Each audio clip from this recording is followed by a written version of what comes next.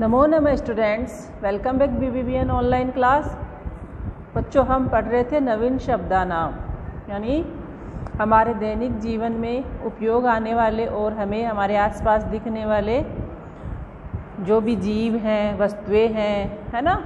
जो भी कलर्स हैं, उनके नाम, सारे नवीन शब्दानाम के अंतर्गत आते हैं। तो हमने पहले कर लिए हैं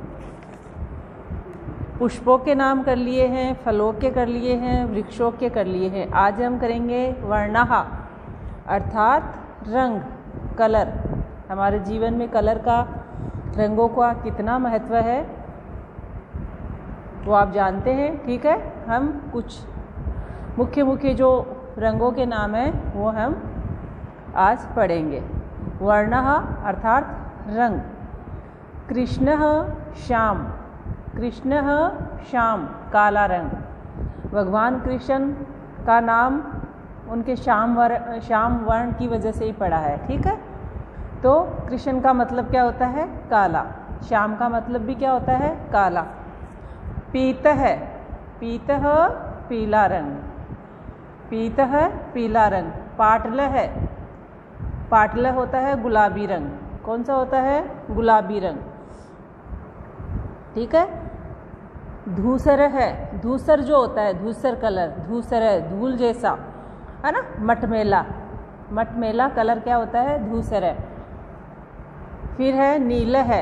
नील है नीला। नील है नीला। रक्त है लाल। रक्त का रंग लाल होता है ना तो रक्त है जो कलर होता है, वो लाल रंग के लिए प्रयोग में आता है। हरित हरा। हरित हरा, श्वेत है और धवल है सफ़ेद रंग। श्वेत रंग और ध्वल है एक ही अर्थ होता है सफ़ेद। ठीक है, सफ़ेद को हम धवल भी बोलते हैं और श्वेत भी बोलते हैं। श्वेत वर्णों वाली कौन सी है? श्वेत वस्त्र धारिणी, माता सरस्वती, है ना? और उसमें आता है ना, श्वेत वस्त्र धारिणी। फिर है पशु है अर्थात पशु। पशुओं के नाम। गो या धेनु। किसे बोलते हैं? गो या धेनु? गाय माता को। गाय, ठीक है? फिर है कुकुर है, शुनक। कुकुर है या शुनक है क्या होता है? कुत्ता।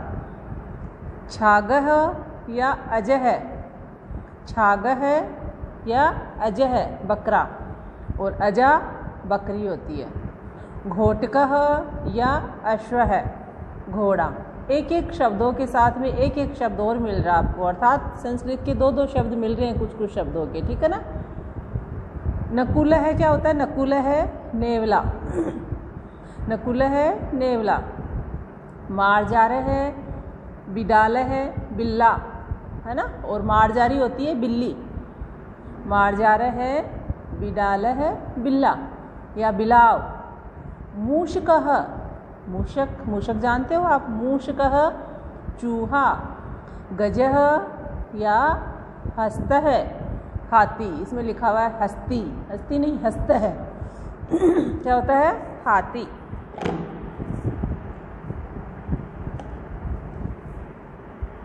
फिर है कपी या वानर। है कपी या वानर क्या होता है? बंदर। उष्ट ऊट। उष्ट ऊट। मकर है और नक्र। है मगरमच्छ। मगरमच्छ को क्या बोलते हैं? नक्र। है कह के नीचे रह। और मक्कर। दोनों का एक ही है मगरमच्छ। कच्छप कछुआ एक होता है कूर्म। है कूर्म भी क्या होता है? कछुआ। उद बिडाल है बिडाल तो देखो बिलाव हो गया। और उद और जोड़ दिया तो वो क्या हो गया? उद बिलाव उद बिडाल है उद बिलाव महिष भैंसा और महिषी या महिषा, क्या होती है? भैंस। और महिष भैंसा महिषासुर मर्दिनी अम्बे माता के लिए आता है ना महिषासुर मर्दिनी भैंसे का जिसका रूप होता है, जिस राक्षस का राक्षस का, उसका वध करती है अम्बे माँ। तो उनका नाम क्या पड़ गया? महिषासुर मर्दिनी, यानी महिष प्लस असुर, महिषा, महिष नामक असुर का वध करने वाली महिषासुर मर्दिनी, ठीक है? फिर नेक्स्ट है वृष या वृषभ वृष या वृषभ, बैल, मृगराज, मृगों का राजा।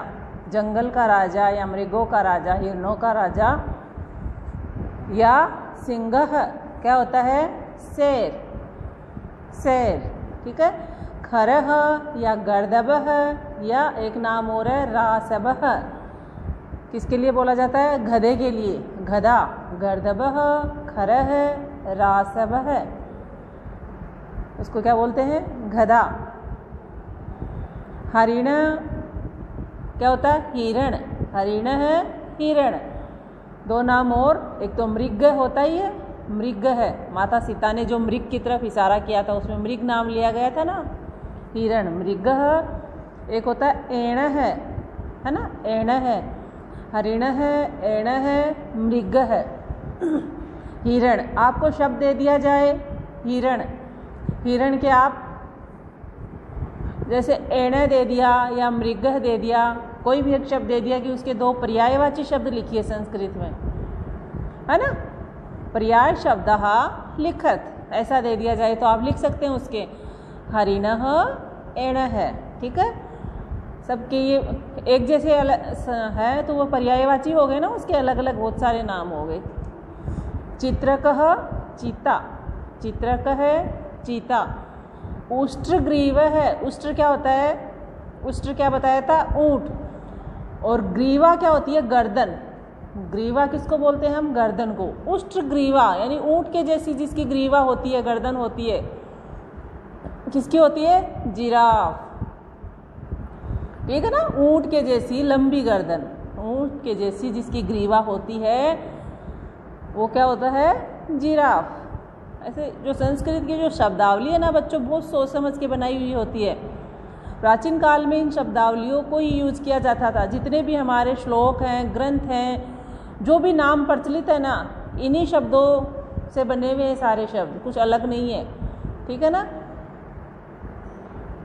रिक्शा, सुना है रीच? रीच सुना है ना आपने? रीच।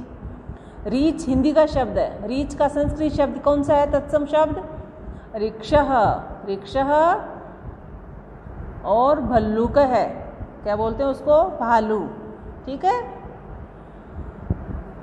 रिक्ष भल्लूक है, भालू। वृक वृक, भेड़िया। वृक है, भेड़िया। शशक शशक, एक होता है खरहा, खरगोश। श्रृंगाल है जम्बूक है। श्रृंगाल है या जम्बूक है, क्या होता है? गीदड़। सियार, जो चालाक होता है ना, वो वाला है। मयूहू, मयुहु बारह सिंगा, जिसके बारह सिंग होते हैं। उसको क्या बोलते हैं संस्कृत में? मयुहु। नेक्स्ट है पक्षिण, पक्षियों के नाम। काक है कौआ एक कव्य को एक शब्द और होता है वायश वायश क्या होता है? कौवे कौवा वायश भी किसको बोलते हैं? कौवों को। बक है या वक है? बगुला। मराल है या हंस है? किसको बोलेंगे? हंस को। मयूर है, क्या होता है? मोर।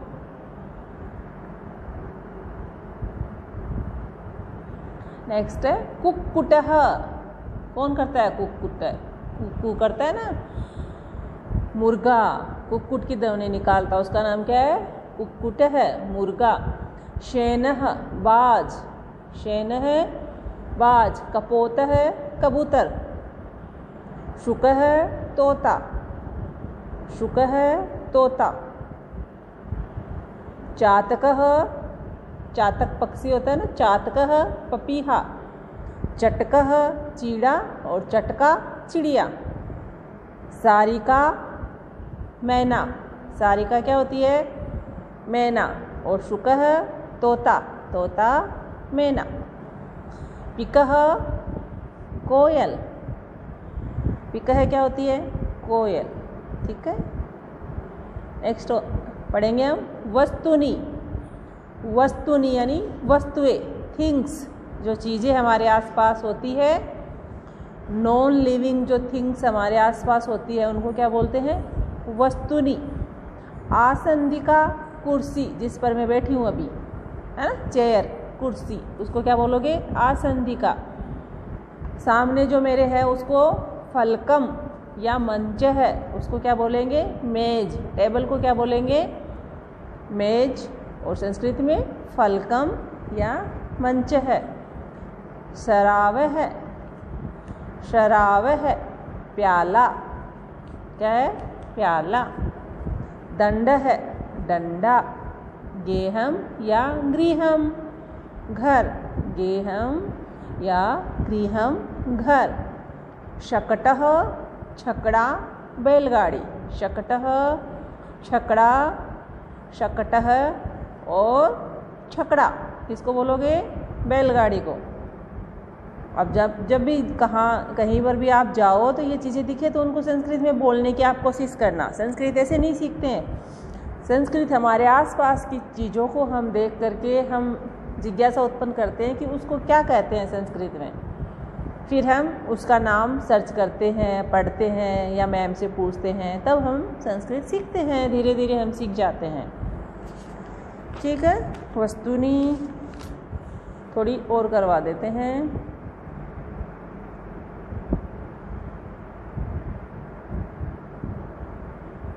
मम्मा साड़ी पहनती है ना? तो मम्मा की साड़ी को क्या बोलोगे? शाटिका। मम्मा शाटिका पहन ली? शाटिका साड़ी। कंकणम। मम्मा कंकणम भी पहनती है ना? कंगन।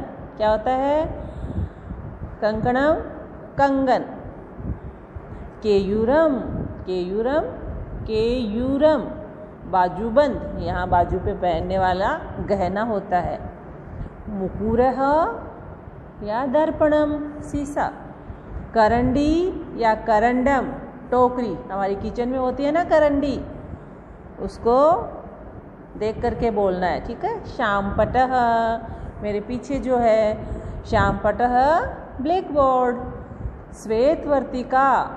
श्वेत वर्तिका चौक, जिससे शिक्षिका पढ़ाती है, या शिक्षक पढ़ाते हैं, लिखते हैं ना, उसको क्या बोलोगे? श्वेत वर्तिका प्रोचनम। अब ब्लैक बोर्ड आ गया श्वेत वर्तिका आ गई तो प्रोचनम भी आना चाहिए। प्रोचनम, डस्टर। कक्ष, अब ये सब चीज़ें किसमें होती है? कक्ष, यानी कक्षा, या कमरा। फिर क्लास में और क्या चाहिए? वेजनम पंखा वेजनम पंखा। फिर पढ़ने के लिए, आपको लिखने के लिए क्या चाहिए? लेखनी लेखनी कलम लेखनी कलम। और कहीं जाते हो, प्लेन से तो उसे क्या बोलोगे? वायु यानम वायु यानम, यानी हवाई जहाज़। ठीक है नेक्स्ट जो थिंग्स हैं वस्तुनी वो हम कल के वीडियो में पढ़ेंगे। बता देती हूँ आपको फिफ्थ क्लास की तो ये बुक है, जिन बच्चों के पास में अवेलेबल है फिफ्थ में, उनको तो ये चीज़ें याद करनी है, ठीक है? हाँ वो रफ में लिख लिख के देख सकता है, क्योंकि लिख लिख के याद करेगा तो उनको पता होगा कि इस, जैसे श्वेत वर्तिका में लिखा रही हूँ तो श्वेत वर्तिका कैसे लिखा जाता है? प्रोचनम कैसे लिखा जाता है? श्याम पटक कैसे लिखा जाता है, उसका मतलब क्या होता है, ठीक है? तो वो रफ में लिख लिख के याद कर सकते हैं, लेकिन उसको फिर उत्तर पुस्तिका में लिखने की आवश्यकता नहीं है। रही बात फोर्थ क्लास की तो उनके पास घर में बुक नहीं है तो वो इस वीडियो को पोज कर करके लिखेंगे, ठीक है ना? लिखेंगे, और याद तो मेरा वीडियो देखोगे तभी हो जाएगा, है ना? दो बार वीडियो सुनोगे, याद हो जाएगा।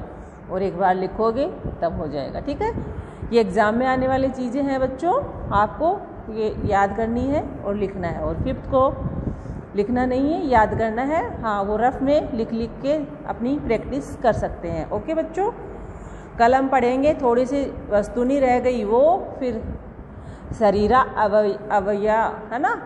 शरीर के जो अवय होते हैं, शरीर के जो अंग होते हैं शरीरा वया वयवा शरीर के अंग। फिर मिष्टानानी मिठाइयाँ, ये हम पढ़ेंगे, ठीक है? और परिवार जना परिवार के लोगों के बारे में पढ़ेंगे, ओके? बाय।